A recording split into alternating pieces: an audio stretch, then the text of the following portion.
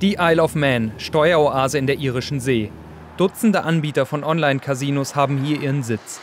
Auch deutsche Spieler können auf sie zugreifen. Dabei sind Online-Casinos in Deutschland fast ausnahmslos verboten.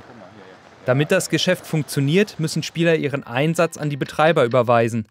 Dabei, so zeigen unter anderem die Paradise Papers, läuft der Zahlungsverkehr auch über deutsche Banken.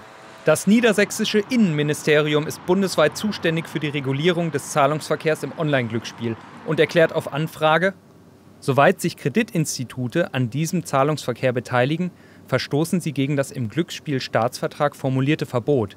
Ebenso kann der Straftatbestand der Geldwäsche erfüllt sein. Banken sind in Deutschland laut Gesetz dazu verpflichtet, die Geschäfte ihrer Kunden mit besonderer Sorgfalt zu prüfen.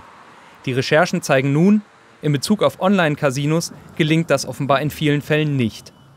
Betroffene Banken erklären auf Anfrage der ARD, dass sie sich zu konkreten Kundenbeziehungen nicht äußern. Um das Problem zu lösen, fordern Juristen eine Liste mit den wenigen Anbietern zu erstellen, die eine bundesweite Glücksspiellizenz besitzen. Alle Anbieter, die nicht auf dieser Liste stehen, für die wäre dann es kategorisch untersagt, Zahlungen abzuwickeln.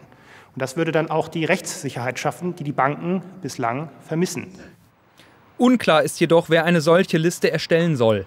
Die Bankenaufsicht BaFin und die Glücksspielaufsicht im niedersächsischen Innenministerium verweisen jeweils aufeinander.